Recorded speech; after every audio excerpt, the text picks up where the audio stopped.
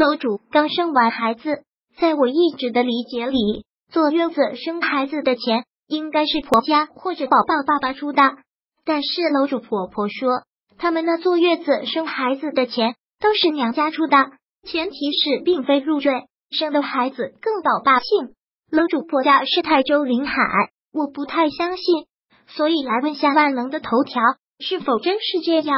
其他地区的同学也可以留言回复下，你们那是谁家出钱，并请说明坐标。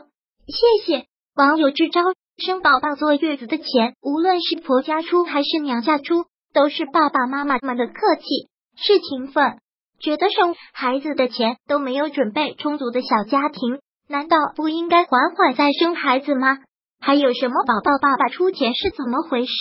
难道宝宝爸爸的钱不是楼主你的钱吗？连这个钱还要分得清清楚楚的男人，楼主怎么敢嫁给他？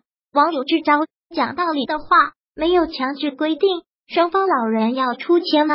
哪方老人出钱要自愿的，一般情况双方都会出的。还有亲朋好友会送点东西过来，小夫妻自己也有钱。风俗有女方出，也有男方出，哪有一定的？既然你认为婆婆占娘家便宜，而你又想强行摊牌给婆婆用风俗施压，不如不讲风俗，讲道理好了。或者按通用法则，父母负责孩子的一切，即使风俗是婆婆出，没有强制约束力的这种东西，可守可不守。网友支招，自己小家出，也就是老公出。